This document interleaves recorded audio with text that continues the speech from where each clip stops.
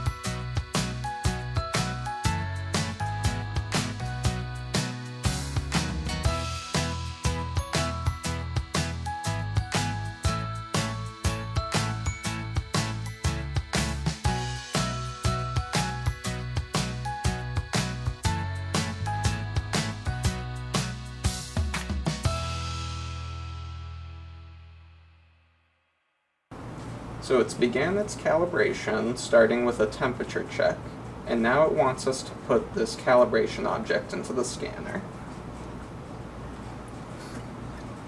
Before that goes in, I have to put in one of the riser plates, which each one has a bar that should match up with a white bar in the scanner itself.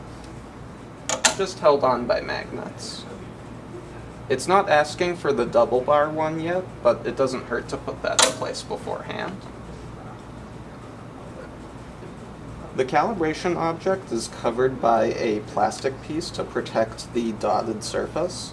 You want to be very careful never to touch this white dotted surface because it can smudge.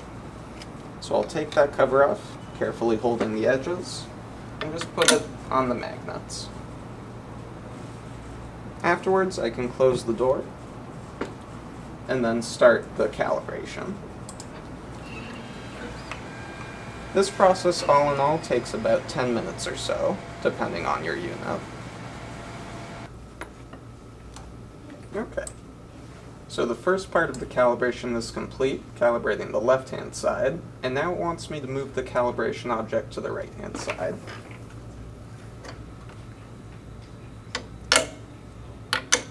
So I'll just switch those over on the magnets, and hit the calibrate button to continue the next part. Now that the calibration is complete, I can hit the close button so that the scanner goes back to home position.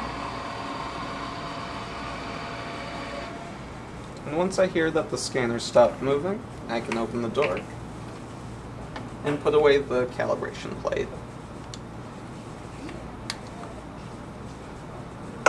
For the calibration, you'll want to do this once a week or if the temperature of the scanner goes 10 degrees Celsius above or below the most recent calibrated temperature.